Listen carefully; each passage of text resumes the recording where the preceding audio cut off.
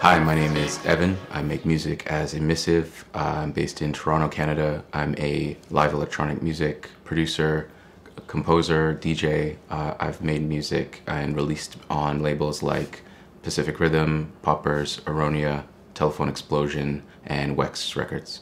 So my music is primarily a dialogue between my own creative sensibilities and the limitations of the technology uh, that I present myself with my approach is often interfacing with Afrofuturism as a conceptual framework, and I use that to ground my own creative process. As a live performer, I work hard to emulate the energy that I would be bringing in a DJ set, but in the context of my own productions. I'm using elements from my own studio productions and recontextualizing them in a live setting.